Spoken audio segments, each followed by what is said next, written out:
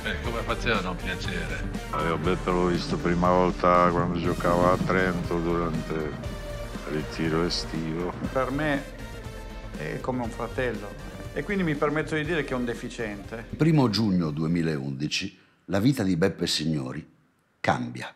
Sapevamo che amava il gioco. Anche un amico come me, per un attimo, È stata dura, è stata... sono stati dieci anni durissimi. Beppe aveva il suo istinto, la sua coscienza. Che cazzo devo patteggiare?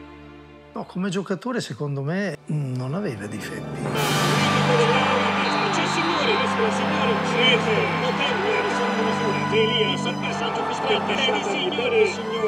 L'unico grande attaccante a cui non sono riuscito a parargli un rigore.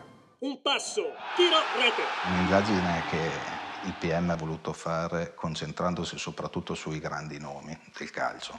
Quando tu difendi un innocente, diventi il suo unico strumento. Ma poi ho detto parolacce un po' a tutti perché è uscita la verità. Ma adesso ho la fortuna di poterlo raccontare perché mi chiamo Beppe Signori. Il fatto non sussiste.